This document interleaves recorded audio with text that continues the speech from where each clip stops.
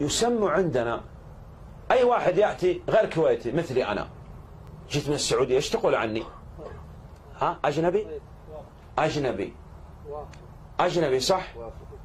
أجنبي. لأن عندنا في المطار الأجانب والكويتيين. صح ولا لا؟ حتى في السعودية. تمام. أجنبي ما معنى أجنبي؟ الأجنبي هذه الكلمة خطأ. لماذا؟ حتى يساووا بين اليهودي والنصراني والمسلم. هذا كله أجانب. صح؟ أي نعم. إذا من أين لنا هذا المصطلح؟ مصطلح أجنبي. خطأ. صح؟ خطأ. أي نعم.